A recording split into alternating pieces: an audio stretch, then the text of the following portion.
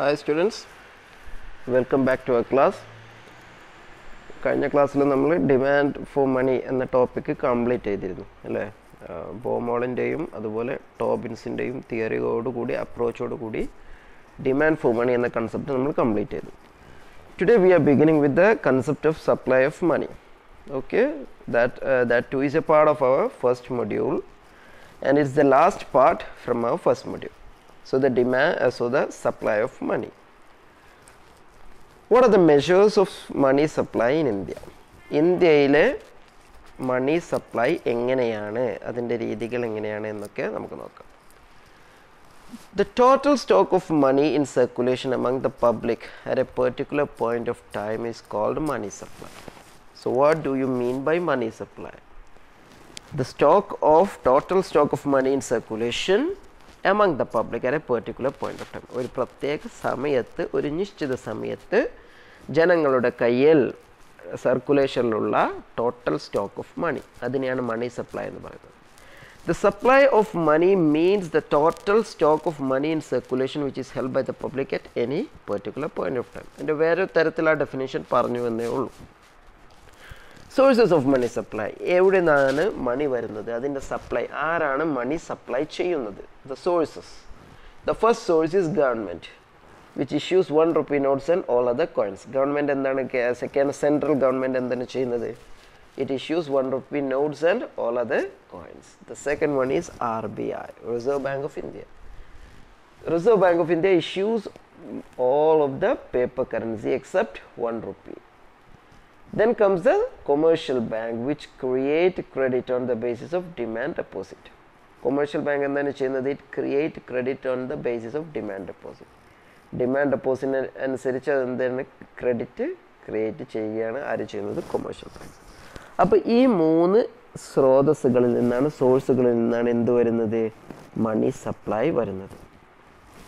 The central bank of all countries are empowered to issue currency and though the central bank is the primary source of money supply in all countries എല്ലാ രാജ്യങ്ങളിലെയും central ബാങ്കാണ് എന്ത്? മണിയും currency issue ചെയ്യുന്നത്. So central ബാങ്കാണ് എന്ത്? Primary source of money supply in all countries the currency issued by the central bank is fiat money central bank issue ചെയ്യുന്ന കറൻസിയാണ് നമ്മൾ എന്ത് പറയുന്നത്? ഫിയറ്റ് മണി എന്ന് പറയുന്നത്. And is backed by supporting reserves and its values guaranteed by the government എന്താണ്? Central bank issue ചെയ്യുന്ന അത്തരത്തിലുള്ള കറൻസിക്ക് തുല്യമായ സപ്പോർട്ടിംഗ് റിസർവ്സ് എന്ത് ചെയ്യുന്നുണ്ട്? സെൻട്രൽ ബാങ്ക് എടുത്തു വെക്കുന്നത് അതോടൊപ്പം അതിന്റെ വാല്യൂ ആര് ഗ്യാരണ്ടി ചെയ്യുന്നുണ്ട്? ഗവൺമെന്റ് ഗ്യാരണ്ടി ചെയ്യുന്നുണ്ട്. The second major source of money supply is the banking system of India ഇന്ത്യയിലെ ബാങ്കിങ് സിസ്റ്റമാണ് എന്ത്? രണ്ടാമത്തെ ഏറ്റവും വലിയ source of money bank creates money supply banks create money supply in the process of borrowing and lending transactions with the public banks എങ്ങനെയാണ് money supply ചെയ്യുന്നത്? അവർ credit ക്രിയേഷനിലൂടെയാണ് മണി supply ചെയ്യുന്നത്. അല്ലാതെ ആർ ബി ഐ ചെയ്യുന്നത് പോലെ അവർ പ്രിന്റിങ് നടത്തുകയല്ല ചെയ്യുന്നത്. അവർ credit ക്രിയേഷനിലൂടെ ആണ് എന്ത്? മണി supply ചെയ്യുന്നത്. അല്ലെങ്കിൽ അവർ മണി എന്നതിനെ വിപുലീകരിക്കുന്നത്. എങ്ങനെയാണത്? ഫോർ എക്സാമ്പിൾ ഒരു സെൻട്രൽ ഗവൺമെന്റ് അഥവാ central bank thousand rupees issue ചെയ്തു. നമുക്കാണ് ആ തൗസൻഡ് റുപ്പീസ് കിട്ടിയത്. നമ്മളത് പോയി എന്ത് ചെയ്യുന്നു? ബാങ്കിൽ ഡെപ്പോസിറ്റ് ചെയ്യുന്നു. ബാങ്ക് അത് എന്ത് ചെയ്യുന്നു? അതിൽ നിന്ന് ഒരു നയന്റി പെർസെന്റ് എടുത്തിട്ട് അടുത്ത ആൾക്കത് ലോണായിട്ട് കൊടുക്കുന്നു. അപ്പോൾ ഇപ്പോൾ എത്രയായി? Money in circulation thousand rupees നമ്മുടെ കയ്യിലുണ്ട്. വേറൊരാളെ കയ്യിൽ നയൻ ഹൺഡ്രഡ് റുപ്പീസ് ഉണ്ട്. ഓക്കെ ആ നയൻ ഹൺഡ്രഡ് റുപ്പീസ് എങ്ങനെയാണ് ലോൺ കിട്ടുക എന്ന് പറഞ്ഞാൽ അതും അയാളുടെ അക്കൗണ്ടിലാണ് ബാങ്ക് അക്കൗണ്ട് ഉണ്ടാക്കിയിട്ട് അതിലാണ് ഉണ്ടാവും അതിൽ നിന്ന് എയ്റ്റ് ഹൺഡ്രഡ് റുപ്പീസ് വീണ്ടും എന്ത് ചെയ്യുന്നു ബാങ്ക് ബാങ്ക് അടുത്തൊരാൾക്ക് എന്തായിട്ട് കൊടുക്കുന്നു? ലോണായിട്ട് കൊടുക്കുന്നു. അപ്പോൾ മൊത്തം ഇപ്പോൾ ബാ സർക്കുലേഷനിൽ എത്ര മണിയുണ്ട്? Thousand plus nine hundred one thousand nine hundred plus eight hundred two thousand seven hundred ഇത്തരത്തിൽ ബാങ്കുകൾ എന്ത് ചെയ്യുന്നു? ലെൻഡിങ്ങിലൂടെയും ബോറോയിങ്ങിലൂടെയും ക്രെഡിറ്റ് ക്രിയേഷൻ നടത്തുകയും മണി സപ്ലൈ വർദ്ധിപ്പിക്കുകയും ചെയ്യുന്നുണ്ട്. ഇത്തരത്തിലുള്ള മണിയാണ് എന്ത് പറയുക? ക്രെഡിറ്റ് മണി എന്ന് പറയുന്നത്. Money so created by the commercial banks is called credit money commercial ബാങ്കുകൾ ക്രിയേറ്റ് ചെയ്യുന്ന മണിയാണ് ക്രെഡിറ്റ് മണി എന്ന് പറയുന്നത്. So what is meant by monetary aggregate എന്താണ് മോണിറ്ററി അഗ്രഗേറ്റ് കൊണ്ട് ഉദ്ദേശിക്കുന്നത്?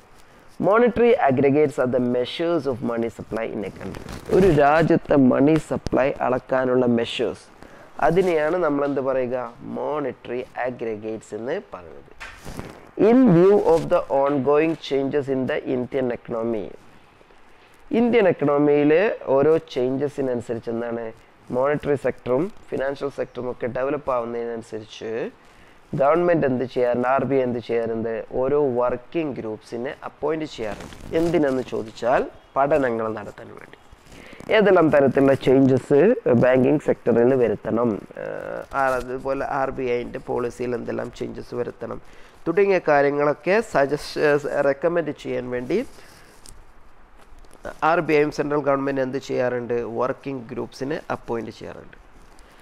അതിൽ മൂന്ന് വർക്കിംഗ് ഗ്രൂപ്പ്സാണ് ഇത് വേർ സെറ്റപ്പ് സോഫാർ ഇതുവരെ മൂന്ന് വർക്കിംഗ് ഗ്രൂപ്പ്സിന് എന്ത് ചെയ്തിട്ടുണ്ട്? അപ്പോയിന്റ് ചെയ്തിട്ടുണ്ട്. First working group on money supply F W G first working group on money supply in nineteen sixty one the second working group S W J in nineteen seventy seven and the third working group the working group on money supply analytics and methodology of compilation. ഇതൊക്കെ ആ working ഗ്രൂപ്പിന്റെ പേരാണ് കേട്ടോ W G M S and its chairman was doctor Y V Reddy nineteen ninety eight each of these groups made changes to the measuring standards with the requirement of time ഓരോ ഗ്രൂപ്പും ആ സമയത്തിനനുസരിച്ച് കാലത്തിന്റെ ആവശ്യത്തിനനുസരിച്ച് measurement സ്റ്റാൻഡേർഡ്സിൽ അഥവാ മണി സപ്ലൈയുടെ measurement സ്റ്റാൻഡേർഡ്സിൽ എന്ത് വരുത്തിയിട്ടുണ്ട്? മാറ്റം വരുത്തിയിട്ടുണ്ട് എന്ന്. അപ്പോൾ ഓരോ വർക്കിംഗ് ഗ്രൂപ്പിന് ശേഷവും മെഷേഴ്സ് ഓഫ് മണി സപ്ലൈയിൽ മാറ്റമുണ്ടാകും. പിന്നീട് വരുന്ന വർക്കിംഗ് ഗ്രൂപ്പ് എന്ത് ചെയ്യും? അതിൽ വീണ്ടും ടൈമിനനുസരിച്ച് ആവശ്യമുള്ള മാറ്റങ്ങൾ ഡെവലപ്മെന്റ്സ് വരുത്തും. ഓക്കെ ഏതൊക്കെയായിരുന്നു ഇന്ത്യയിലെ ഓരോ വർക്കിംഗ് ഗ്രൂപ്പിന് ശേഷമുള്ള മെഷേഴ്സ് ഓഫ് മണി സപ്ലൈ എന്ന് നമുക്ക് നോക്കാം. From nineteen sixty seven to sixty eight the were two measures of money supply ഒരു സ്റ്റാർട്ടിംഗ് എന്ന നിലയ്ക്ക് വളരെ ബേസിക് ആയിട്ട് രണ്ട് തരം മണി സപ്ലൈ ആണ് എന്ത് nineteen sixty seven sixty eight കാലഘട്ടത്തിൽ ഉണ്ടായിരുന്നു the first one is M one what is M one denotes the sub sum of currency and demand deposit held by the public M one എന്തിനെ സൂചിപ്പിക്കുന്നത് currency the sum of currency and demand deposit held by the public പൊതുജനത്തിന്റെ കയ്യിലുള്ള currency അതുപോലെ അവരുടെ demand deposit ഇതൊന്ന് മാത്രമായിരുന്നു എന്ന് അന്നത്തെ കാലത്ത് money measures of money supply ആയിട്ട് ഉണ്ടായിരുന്നത്. രണ്ടാമത്തൊന്ന് A M one plus A M R M one plus A M R എന്താണ് A M R a broader measure of money supply ഇതൊരു broader measure of money supply ആണ് and it's called as aggregate monetary resources aggregate monetary resources M one ഒഴികെയുള്ള ബാക്കി എല്ലാതും ഉൾപ്പെടുന്നതാണ് എന്ത്? Aggregate monetary resources അതെന്ത് ചെയ്യും R B I M one publish ചെയ്യുന്നതിനപ്പുറം A M R separate ആയിട്ട് തന്നെ പബ്ലിഷ് ചെയ്യാറുണ്ട്. അപ്പോൾ ആർ ബി എന്ത് ചെയ്യും? R B I M one എത്രയാണ്? എത്രയാണ്?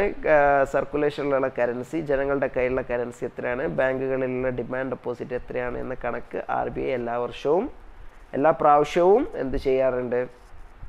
പബ്ലിഷ് ചെയ്യാറുണ്ട്. Okay from nineteen seventy seven nineteen seventy seven എന്നാണ് സെക്കൻഡ് വർക്കിംഗ് ഗ്രൂപ്പ് വന്നു. The following recommendations of the second working group on money supply the R B I has been publishing data on four alternative measures of money supply പിന്നീട് എന്ത് ചെയ്തു?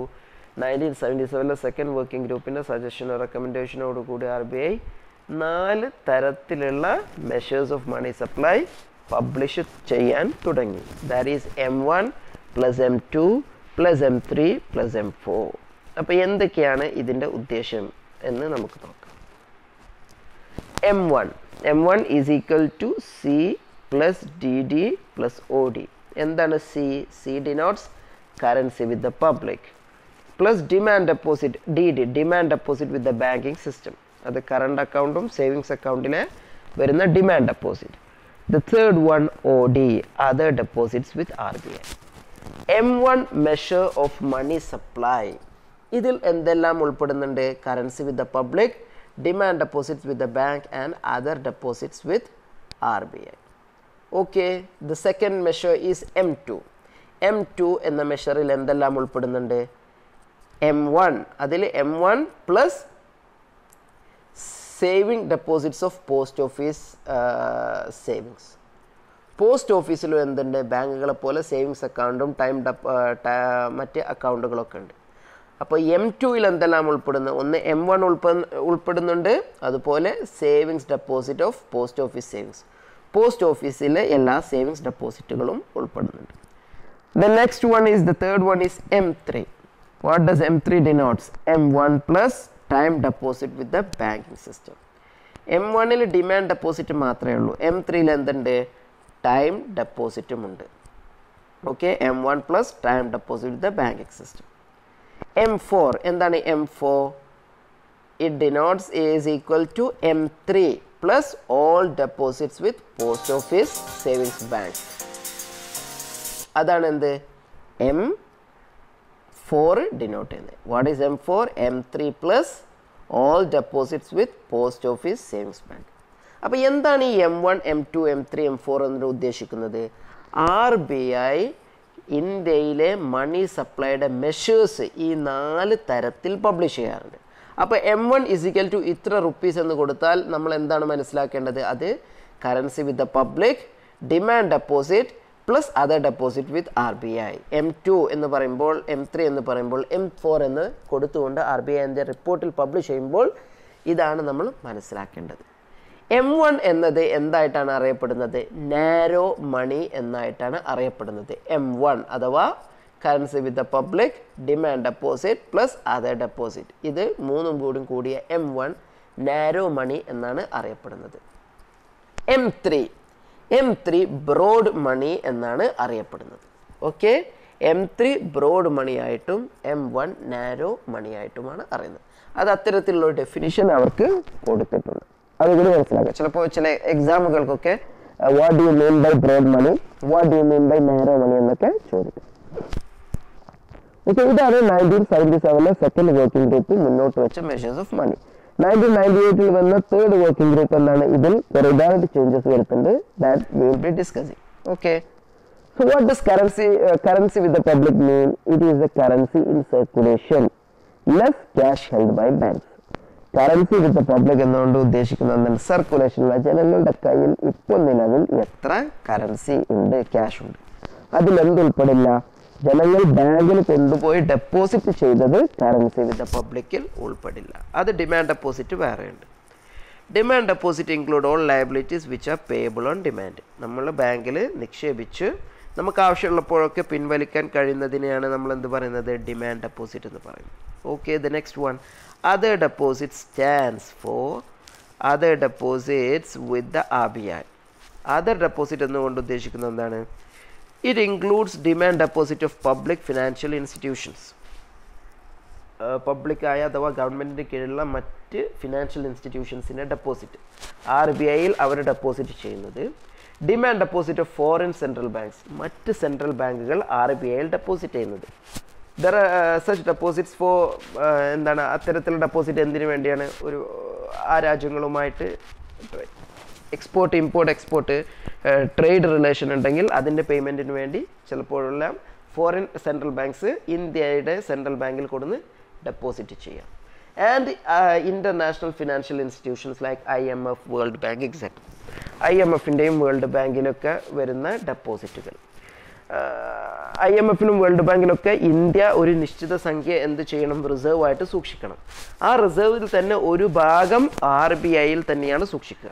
അതാണ് നമ്മൾ എന്തെങ്കിലും ഉൾപ്പെടുത്തുന്നത് other deposits of R B ഐയിൽ ഉൾപ്പെടുത്തുന്നത് അപ്പോൾ ഇത്രയാണ് ഇന്നത്തെ ക്ലാസ്സിൽ നമ്മൾ ഡിസ്കസ് ചെയ്യുന്നത് that is we are we have just discuss the four measures of supply which was which were put forward by the second working group. The rest we will be discussing in the next class. Okay. If you have any doubt, please clear in the group or uh, personally message me. Uh, the rest we will be discussing in the next class. Thank you. Bye.